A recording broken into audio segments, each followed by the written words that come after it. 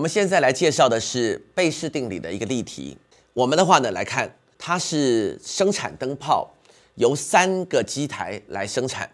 那么它们的话呢，生产的总量，我们的话呢各各为五十帕、三十帕、二十帕。那么它的不良频率的话呢，三帕、四帕、五帕。好，那我们现在的话呢，我们来看看题目。现在的话呢，我们从所有的灯泡里面抽出一个灯泡来，不良品的几率是多少？那么我们的话呢，再看第二个，在已知为不良品的前提之下，这个产品是源自于假机器生产的几率。那么各位同学的话，看一下这个题目，它什么都没说，这代表的是事前几率，不良品的几率。那么第二题呢，它是一个已知是不良品了，就是说确认它是在一个不良品的前提之下，这个看起来是条件几率，不过它比条件几率要来的复杂一点点，原因是因为。它的话呢，那个分母的话呢，它是有一些分割，所以要必须要做一些加总的。那么我们来做一些解释，来，我们来看看，我们来从第一题来做起，不良品的几率，我们来看啊，第一题，不良品的话呢，它本身的话呢，我们就三趴、四趴、五趴，我们的话呢，就直接由甲、乙、丙这边来找就可以了。那么首先的话呢，甲的话呢。是五十趴要乘上三趴，那我们的话呢，为了计算方便的话呢，我们把甲的话呢写成百分之五十就是零点五，那么我们乘上多少呢？百分之三，加上乙的话呢是零点三，那么我们乘什么呢？几趴？四 percent 的，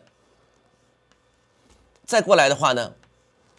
丙呢是零点二，我们乘上五趴，好，我们来加起来是多少？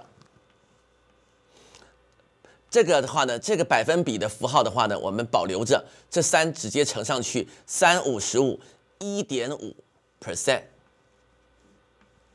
加上这个的话呢是三四十二，一点二 percent。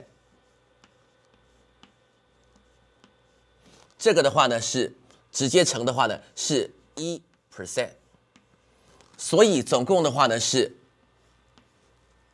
百分比的话呢保留着一点五加一点二加一，一共是三点七，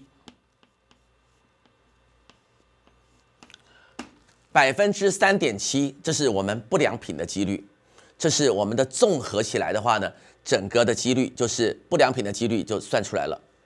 现在的话呢，我们来看看第二个，第二个就是所谓的贝氏定理的题目。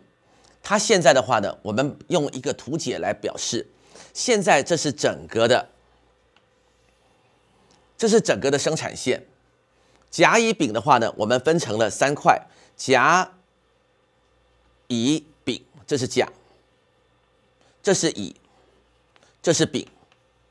那现在不良品呢是在中间这一块。我们的话呢，限制在中间的这一块，这边是不良品。那么我们现在的话呢，把它当做条件几率来做。那怎么做呢？在不良品的前提之下，是假的几率，是不是这样子？那这样子的话呢，我们就把这个当做分母。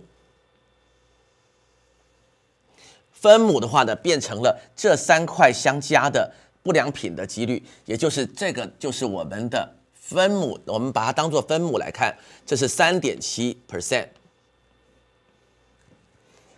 发生在甲的地方，发生在甲的地方就是这一块，那是多少呢？